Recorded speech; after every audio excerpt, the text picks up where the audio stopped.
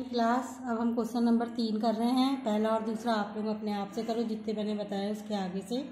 और अब हम क्वेश्चन नंबर तीन करने जा रहे हैं। देखो फ़र्स्ट क्वेश्चन क्या है इसमें? के का मान ज्ञात कीजिए, जब, जबकि निम्नलिखित स्थितियों में से प्रत्येक स्थिति में X minus one P X का एक गुणनखंड हो। तो देखो फ़र्स्ट क्वेश्चन है पी एक्स का मान दिया हुआ है। पी एक्स बराबर X square plus X plus K. ये दिया हुआ है। तो ये कह रहा है कि जी एक्स का मान हमें कितना दिया हुआ है? X minus one G X बराबर दिया हुआ है और जी एक्स दिया हुआ है हमें सवाल में एक्स माइनस वन तो एक्स माइनस वन यानी जी एक्स पी एक्स का एक गुणनखंड होगा जब X minus one X minus one बराबर ज़ीरो तो एक्स का मान कितना हो गया बताओ? एक्स बराबर वन तो ये कह रहा है कि X minus one P X बराबर X square plus X plus K का गुणनखंड है।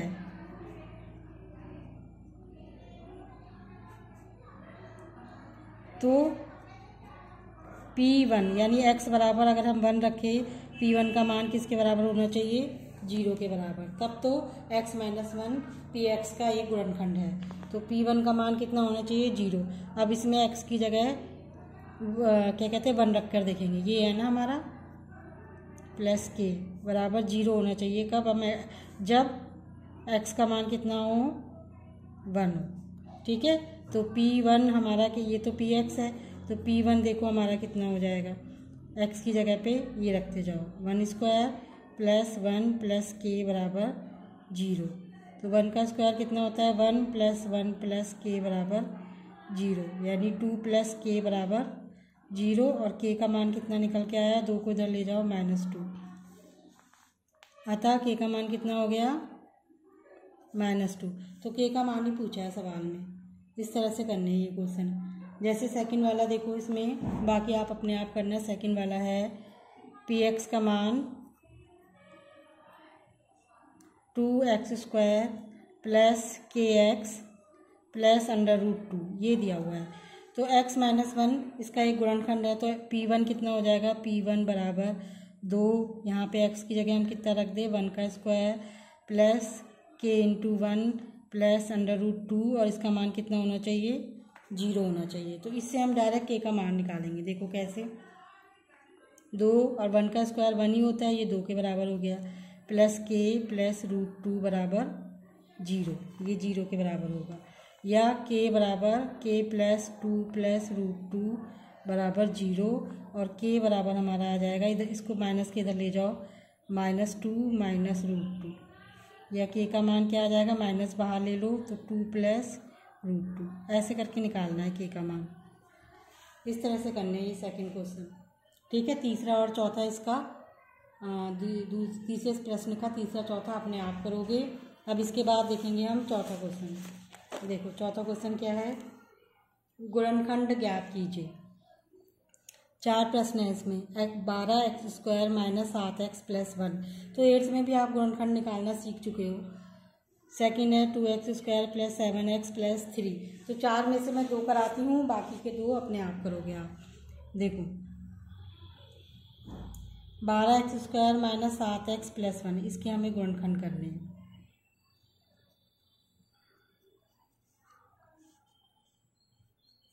बारह एक्स स्क्वायर माइनस सात एक्स प्लस वन तो हमें इसके गुणनखंड करने हैं। तो यहाँ पर देखो, एक्स स्क्वायर का गुणनखंड क्या है? बारह, और इसका वन। तो हम इसके रफ में ऐसे फैक्टर करेंगे। बराबर बारह, इन दोनों के गुणा करो। अब बारह के गुणनखंड करो। तीन गुणा चार, तीन चौक कितना होता है? बारह। या छः गुणा दो। ये भी होता है बारह के बराबर। अब देखो, तीन और चार को अगर हम जोड़ दें तो किसके बराबर आ जाएगा? सात के बराबर। तो हम इसको इस तरह से गुणनखंड करते हैं। ये बीच वाले फैक्टर के बराबर आ जाए। देखो कैसे लिखेंगे। बारह एक्स स्क्वायर माइनस सात को क्या लिख सकते? हैं तीन प्लस चार ब्रैकेट के बाहर। एक्स लगाओ, ऐसे करके। तो बारह एक्स स्क्वायर माइनस, अब माइनस हटाओ। तीन एक्स माइनस, ये प्लस माइनस माइनस हो जाएगा। चार एक्स प्लस वन। अब एक बार इन दोनों को लो और इन दोनों को लो। ऐसे करनी है गुणनखंड इन दोनों में कॉमन क्या है? तीन और एक्स भी कॉमन है। तो तीन एक्स हम ब्रैकेट के बाहर लेंगे। तीन चौक बारह। डिवाइड कर लिया। एक्स स्क्वायर में से एक एक्स बाहर आ गया माइनस यहाँ क्या बचा? वन इसमें से माइनस वन कॉमन ले लो। तो माइनस कॉमन ले लिया तो चार एक्स ये माइनस इसका बाहर आ गया और ये प्लस माइनस माइनस वन। तो देखो हमारे गुणनखंड क्या आएँगे? तीन एक्स चार एक्स माइनस वन को फिर कॉमन ले लो। इसको कॉमन ले लिया और दूसरा बच्चा हमारा तीन एक्स माइनस वन। बस यही है इसके गुणनखंड। चार एक्स माइनस वन और तीन एक्स माइनस वन। इस तरह से करना। है अब एक एक प्रश्न और करा देती हूँ इसमें से मैं।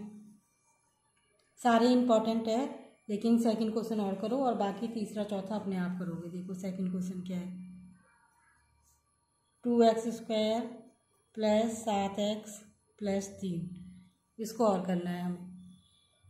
तो दो और तीन के हम यहाँ रफ में गुणनखंड करेंगे। कितने हो गए? छः। ठीक है? और छः में अगर एक से गुणा करेंगे तब भी, भी कितना आएगा? छः। लेकिन छः में अगर एक जोड़ दे तो कितना आ जाएगा? सात। तो देखो हम इसको कैसे लिखेंगे? Two X square plus six X plus X.